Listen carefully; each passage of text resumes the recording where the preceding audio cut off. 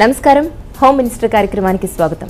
ఒక వ్యక్తి తాను ఎంచుకున్న రంగంలో రాణించాలంటే జీవిత సహచరి తోడ్పాటు తప్పనిసరి.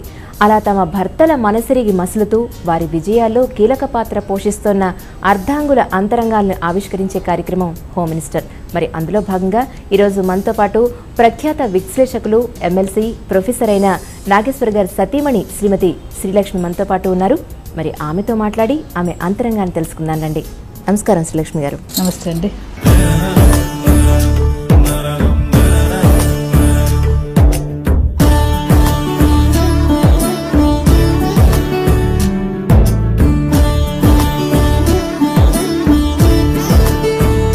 నాగేశ్వర్ గారు ఒక అనలిస్ట్గా ఒక ప్రొఫెసర్గా చాలా మంచి పేరు తెచ్చుకున్నారు. దాని నుంచి ఆయన ఎమ్మెల్సీగా పోటీ చేసినప్పుడు మరి మీరే ఉన్నారు. మొదట్లో కాస్త భయం వేసింది ఏంటి రాజకీయాలు?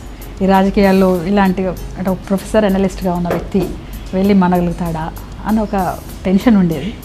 కాకపోతే కొంచెం బ్రాడర్ థింకింగ్గా ఉంటుంది. ప్రజల కొత్త విషయాలు ఇంకా ఎక్కువ తెలుస్తుంది. ఈ ఎనలిస్ట్గా ఒక ప్రొఫెసర్గా తన స్టేజ్ చాలా రోల్ చాలా చిన్నది. కానీ ఒక ఎమ్మెల్సీగా బ్రాడర్ రోల్ ఉంటుంది. ప్రజల ప్రజల్లో కూడా కొంచెం ఎఫెక్టివ్గా ఉంటుంది అనే ఉద్దేశంతో నేను కూడా ఓకే చెప్పేశాను.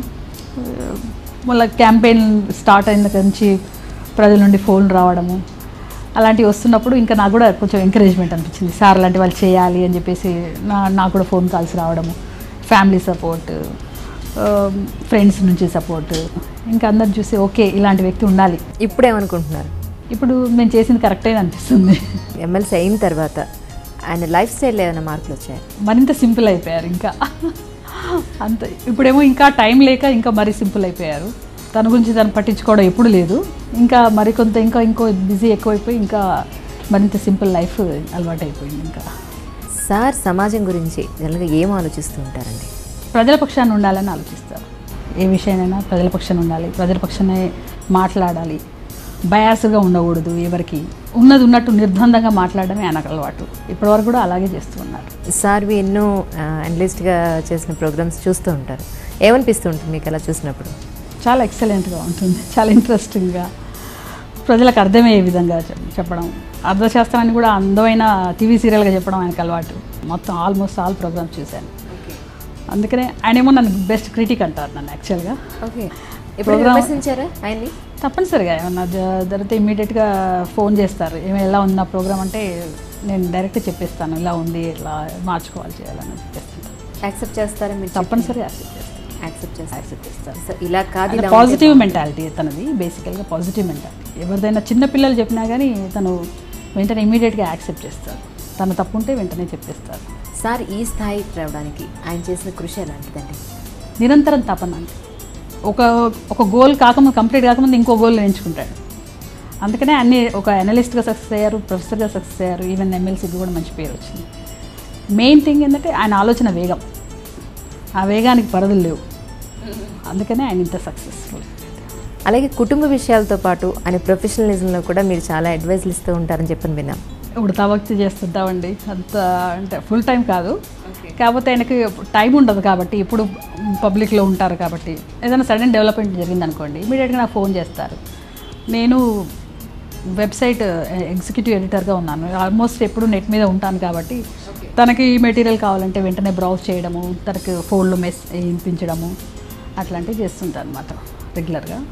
ఏమైనా బుక్స్ కావాలన్నా తెప్పించి పెట్టడము ఏమైనా న్యూస్ పేపర్ క్లిప్పింగ్స్ కావాలన్నా తీసి వెంటనే రెడీ పెట్టడం ఆయన వచ్చేసరికి ఇలాంటి పనులను చేసేసి పెడతాను ఓకే చాలా హెల్పింగ్ నేచర్ మీకు.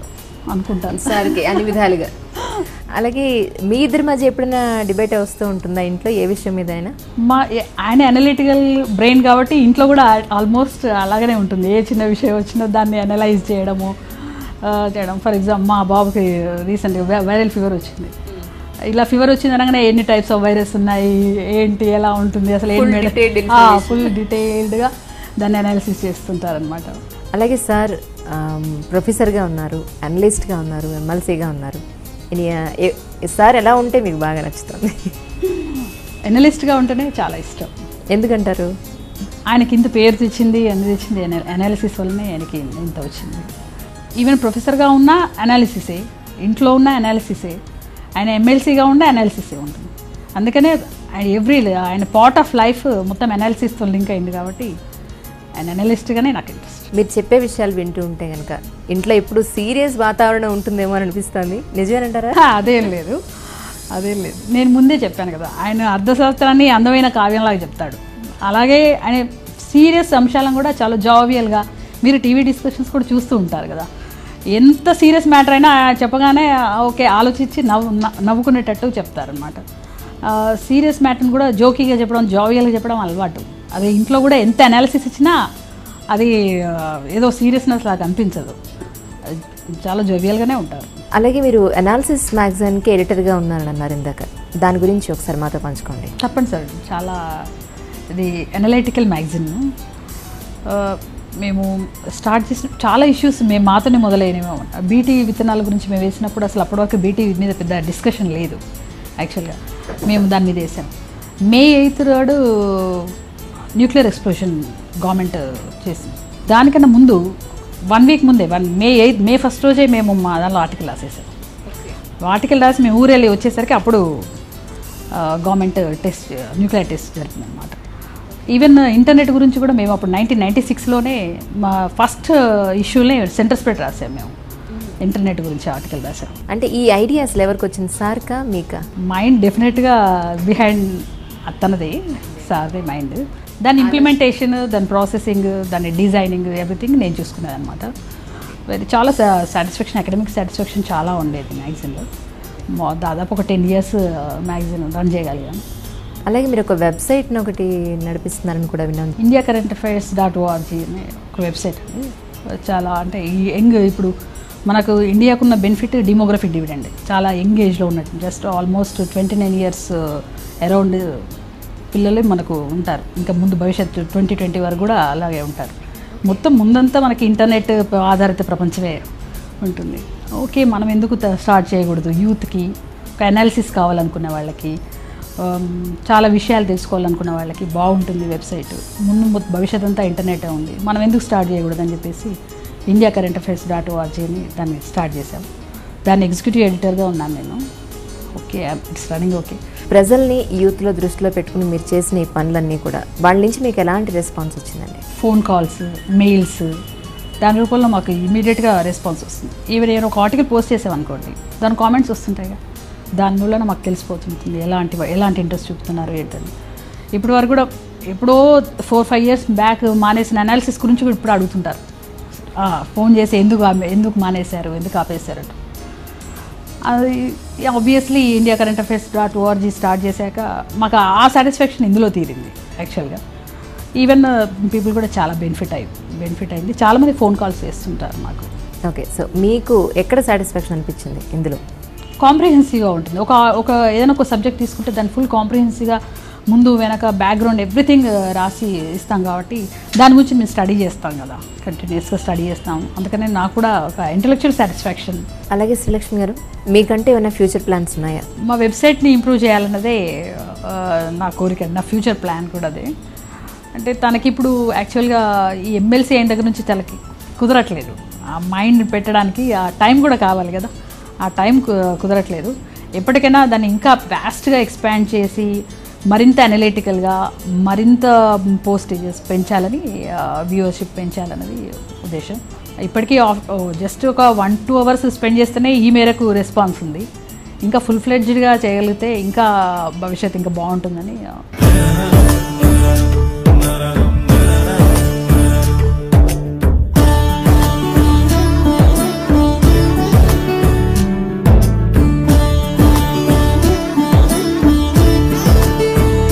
అలాగే మీరేం చదువుకున్నారు? మీ కుటుంబ నేపథ్యం. ఒకసారి మాకు చెప్పండి.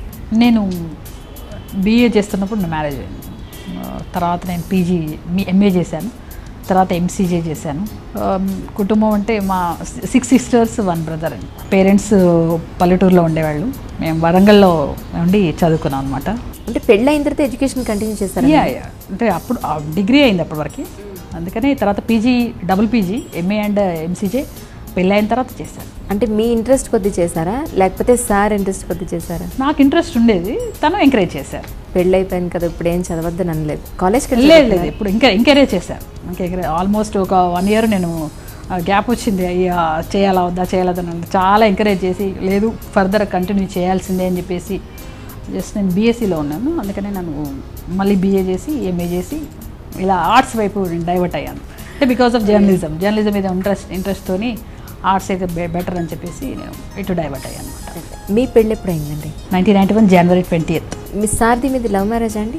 లేదండి అరేంజ్ మ్యారేజ్. పెళ్ళి చూపులకు వచ్చారా సార్? యా వచ్చారు. చూసారా? మీరు కూడా చూసారా చూసాం? చూసాం. ఏం మాట్లాడుకున్నారు ఫస్ట్ టైం అంటే స్టడీస్ గురించి మెయిన్గా అడిగారు. అప్పుడు కూడా చదువు అప్పుడు కూడా చదువు గురించి. మరి అంటే నేను కూడా అప్పుడు చదువుతున్నాను కాబట్టి నాకు పెద్దగా ఇంకా ఏమి డిఫరెన్స్ ఏమి అనిపించలేదు. చదువు గురించి అడిగారు ఏం చదువుతున్నావు? ముందు ఏమైనా చదువుకోదలుచుకున్నావా? ఎలా? ఏంటి? అని అన్ని అడిగారు. తను చాలా సింపుల్ లైఫ్. మరి నువ్వెలా ఉంటావు? నీకేమైనా ఆడంబరాలు ఇష్టమా? ఏ ముందే చెప్పేసాయి అని చెప్పేసి అలాంటివి అడిగారు. నా- నాకు కూడా పెద్ద లేదు. మా అమ్మ నాన్నకి మెయిన్గా ఆడంబరాలు లేవు అసలు. అందుకే ఆబ్వియస్లీ మాకు కూడా అలాగనే వచ్చాయి అనమాట అందుకనే నేను కూడా పెద్ద హోప్స్ ఏం లేదు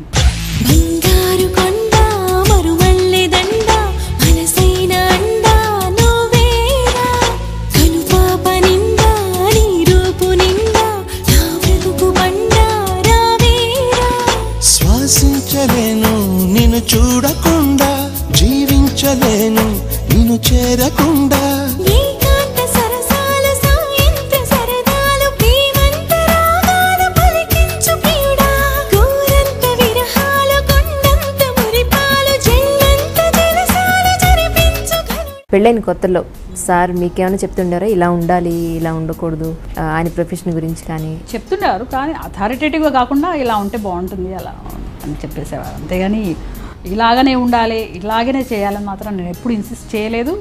ఇంకా చేయరు కూడా ఇంకా.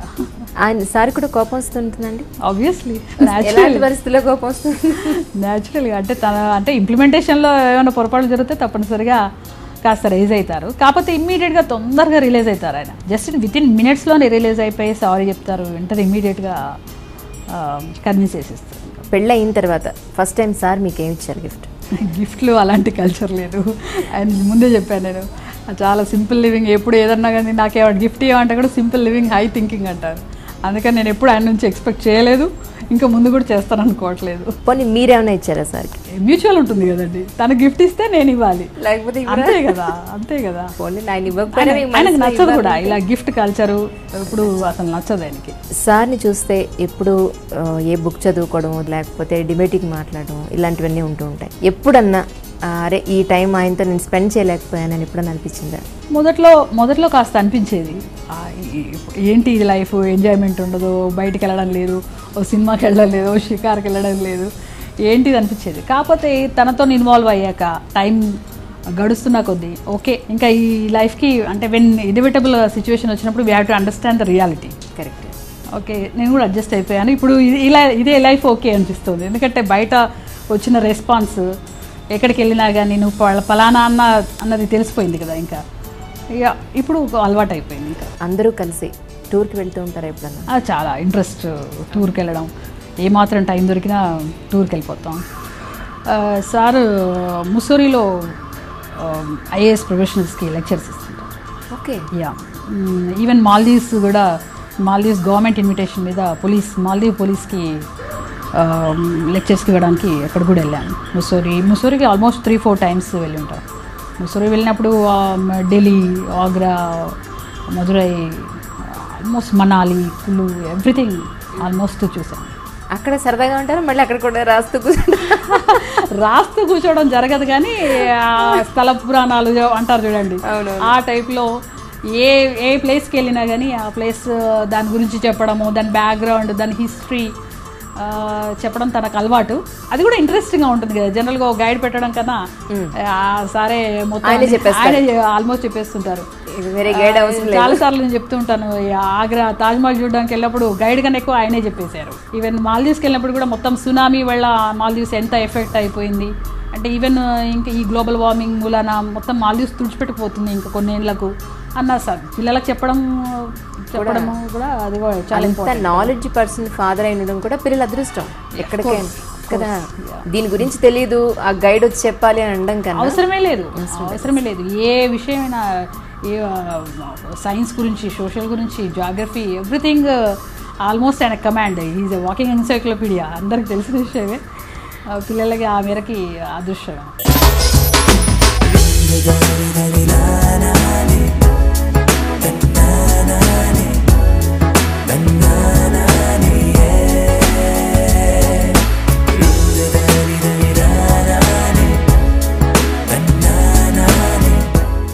మీకు పిల్లలు ఎంతమంది? వాళ్ళు ఏం చదువుతున్నారు? ఇద్దరు పిల్లలండి. బాబు ఇంజనీరింగ్ థర్డ్ ఇయర్ ఇప్పుడు సెకండ్ ఇయర్ అయిపోయింది. పాప వచ్చేసి ఎయిత్ క్లాస్ చదువుతుంది. మీ ఇద్దరిలో ఎవరి దగ్గర ఎక్కువ చనువుగా ఉంటారు పిల్లలు? బాబు నాతోనండి. పాప తనతో చాలా కమాండింగ్గా ఉంటుంది తన దగ్గర. నేనేమైనా చెప్పదలసిన విషయాలు కూడా మా పాపతో చెప్పిస్తాను. అంటే మీ మాట వినకపోతే పాప మాట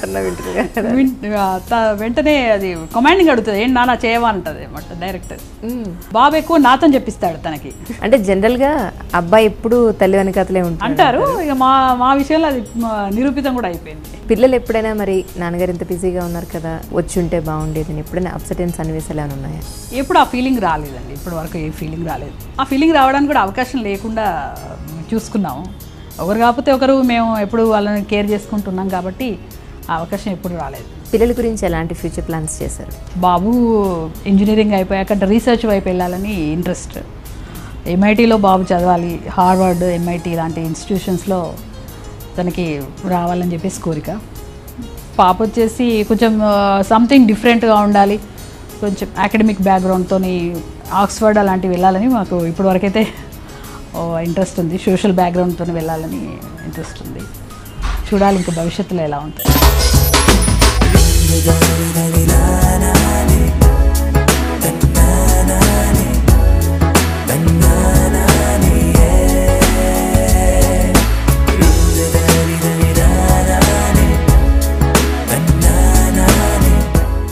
మా ఇల్లు ఒక క్లాస్ రూమ్ లాగా ఉంటే మా నాన్న టీచర్ మా అమ్మ నేను క్లాస్మేట్స్ లాగా ఉంటాం. బికాజ్ మా నేను నాకు ఏం శాంక్షన్ కావాలన్నా నేను మా అమ్మ ద్వారానే. ఎందుకంటే మా నాన్నతో డైరెక్ట్ మాట్లాడాలంటే నాకు చాలా భయం. సో ఏదన్నా నేను మమ్మీ ద్వారానే వెళ్తూ ఉంటాను. మా మమ్మీ నాతోనే కాదు మా ఫ్రెండ్స్ అందరితో కూడా చాలా క్లోజ్గా ఉంటారు. ఎంత క్లోజ్ అంటే నా స్లామ్ బుక్లో కూడా మా మమ్మీ చేసే ఆలుగడ్డ ఫ్రై అంటే ఇష్టం అని చెప్పేసి రాసుకున్నారు. So every part of my life మా అమ్మ నాకు ఎప్పుడూ తోడు ఉంటుంది. That's why I love my mom very much thank you mom మా మమ్మీ నాతో చాలా ఫ్రెండ్లీగా ఉంటుంది. ఏమన్ ఏమన్నా అంటే నా స్కూల్లో ఏం జరుగుతుంది అంతా మా మమ్మీకి చెప్తా. మా మమ్మీ మా మమ్మీ దగ్గర నేను చాలా ఓపెన్. మళ్ళీ మా ఫ్రెండ్స్ కూడా అంటారు అన్నట్టు వాళ్ళ మమ్మీ ఏం చెప్తుందో వాళ్ళు వచ్చేస్తారు. కానీ నేనేం చెప్తానో మా మమ్మీ వచ్చేస్తుంది. I think she's she is the best mother I have ever seen.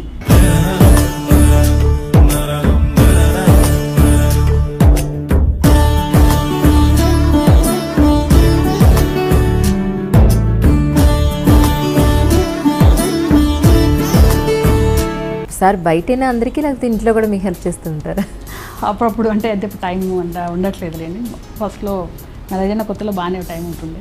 Okay. కానీ ఇప్పుడు యాక్టివిటీ పెరుగుతున్న కొద్దీ ఆయన బిజీ ఎక్కువైపోయారు. అయినా కానీ ఏమాత్రం టైం దొరికినా డైరెక్ట్ వంటింట్లోకే వచ్చేస్తారు. ఇప్పటికి కూడా రైతు బజార్కి వెళ్ళి కూరగాయలు వేయడం ఆయనకి ఇష్టం. రాగానే నన్ను సర్దనివ్వరు కూడా. డైరెక్ట్ ఫ్రిడ్జ్లో తనే పెట్టేస్తారు అన్ని ఓకే. సర్ది పెట్టడం గుడ్ హస్బెండ్ అనుకోవచ్చు. Very good and good father కూడా. Yes of course okay. అలాగే ఇప్పుడు ఈయన ఎమ్మెల్సీ అయిన తర్వాత జనరల్గా టైం పొలిటికలిటీస్ చాలా తక్కువ ఉంటూ ఉంటుంది. మిస్ అయిన ఫీలింగ్ ఎప్పుడైనా కలిగిందా మీకు? ఫస్ట్లో అనిపించేది ఏంటిది? ఎప్పుడు పబ్లిక్లోనే ఉంటారు? అసలు సోషల్ లైఫ్ ఉండదు ఆయనకి? అని అనిపించేది. కానీ కాలం గడుస్తున్న కొద్దీ అలవాటు అయిపోతుందేమో అలా నాకు కూడా అలవాటు అయిపోయింది ఈవెన్ పిల్లలు కూడా అడాప్ట్ చేసుకోగలిగారు. ఏ మాత్రం టైం దొరికినా ఫ్యామిలీతో స్పెండ్ చేయడానికి ఇష్టపడతారు ఎక్కడికన్నా రిలేటివ్స్ దగ్గరికి వెళ్ళడం ఫ్రెండ్స్ దగ్గరికి వెళ్ళడం ఆయన తెలియదు అసలు. ఉన్నంతసేపు మాతోనే ఉంటారు. ఏది వండితే సార్ ఇష్టంగా తింటారు. రైస్ రైస్ ఐటమ్స్ పులుపు చాలా ఇష్టం సార్కి. ఫస్ట్ నుంచి కూడా ఇప్పుడు మ్యారేజ్ అయిన దగ్గర నుంచి ఇప్పటికీ ఏది ఇష్టం అంటే పులిపే అంటాడు ఆయన. ఏదైనా పుల్లగా నిన్న కూడా మార్కెట్కి వెళ్ళి చింత చిగురే తెచ్చాను నేను. అంత ఇష్టం అనమాట అలాగే నాగేశ్వర్ గారిలో మీకు బాగా నచ్చే అంశాలు ఏంటండి? ఆలోచన వేగం. అసలు ఆలోచన వేగం చాలా టెరిఫిక్గా ఉంటుంది. చాలా అందుకోలేనంత ప్రతి విషయంలో తెలుసుకోవాలన్న జిజ్ఞాస. ఎంత చిన్నపిల్లల నుంచి పై పెద్దవాళ్ళ వరకు తనకి తెలియని విషయం ఉంటే వెంటనే అడిగేస్తారు. అది చాలా మెచ్చుకోదగ్గ విషయం. కాకపోతే కొ- కాస్త తొందర ఎక్కువ. స్పీడ్గా ఉంటారు. ఫస్ట్లో అనాలిసిస్ చేస్తున్నప్పుడు కూడా ఫటాఫట్ మాట్లాడడం అలవాటు. కాస్త టైం గడుస్తున్న కొద్దీ ఆయనలో మెచ్యూరిటీ ఇంకా పెరుగుతుంది రోజు రోజు మెచ్యూరిటీ పెరిగిపోతుంది ఆయనలో. అనాలిసిస్ పెరుగుతుంది మెచ్యూరిటీ పెరుగుతుంది. అది నాకు చాలా నచ్చింది. మరి సార్లో నచ్చని విషయం? తొందరపాటు ఫ్రాంక్నెస్ ముక్కుసూటిగా వెళ్తారు. కొన్ని విషయాలలో కాస్త ముందు వెనక ఆలోచించాలని నేను అంటుంటాను ఎప్పుడు. మరి సార్ గురించి ఒక్క మాటలో చెప్పాలంటే మీరేం చెప్తారు? అందరూ అనేదే ఈజ్ ఎ వాకింగ్ ఎన్సైక్లోపీడియా ఒక వైఫ్గా చెప్పండి. వైఫ్ కూడా నేను చెప్పాను ఫస్ట్ ఫస్ట్ నుంచి మేము ఎప్పుడు అనలిటికల్గా డిబేట్ ఇవే నడుస్తున్నాయి లైఫ్లో. ఇంకా బియాండ్ దట్ eh, మేము ఇంకా ఏమి నేను కూడా ఆలోచించలేదు ఆయన ఎక్స్పెక్ట్ ఆయన నుంచి కూడా ఎక్స్పెక్ట్ చేయలేదు. కాబట్టి నాకు కూడా ఆయన ఒక వాకింగ్ ఎన్సైక్లోపీడియానే ఇంటి విషయంలో కానీ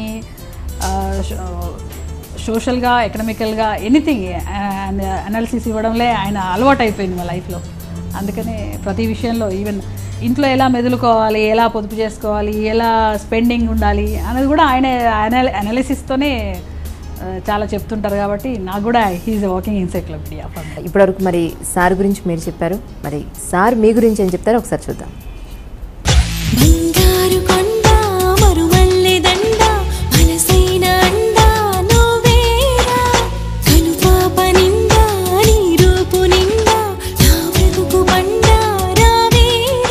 ప్రతి పురుషుని విజయం వెనుక ఒక స్త్రీ ఉంటుందన్నది నూటికి నూరు రూపాయలు నిజం. ఎందుకంటే ఆమె నా మంచి స్నేహితురాలు ముందుగా. ఎందుకంటే ఏ విషయాలైనా మేము డిస్కస్ చేస్తుంటాం చర్చించుకుంటాం. ఒక రకంగా చెప్పాలంటే నా ఆలోచనలు పంచుకోవటానికి కానీ ఆవేశాన్ని పంచుకోవటానికి కానీ అన్ని రకాల హావభావాల్ని కోపాల్ని పాతాపాల్ని ఇబ్బందుల్ని కష్టాల్ని పంచుకోవడంలో నిజంగా భాగస్వామి. ఏదో పక్కన కూర్చున్నారని చెప్పడం కాదు లేకపోయినా చెప్పేవాడిని. సో అందువల్ల more than a wife she's a good friend. శ్వాసించలేను నిన్ను చూడకుండా జీవించలేను నిన్ను చేరకుండా.